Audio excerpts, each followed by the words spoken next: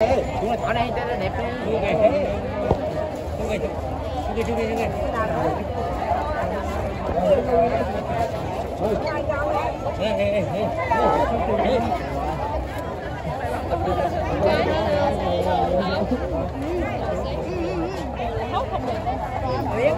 ai ca ai ca gì nữa vô đây là mẹ. Hãy subscribe cho có Ghiền Mì Gõ